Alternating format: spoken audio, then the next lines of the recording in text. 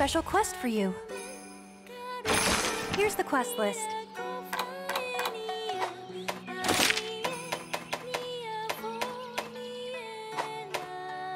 I'll be here if you need me.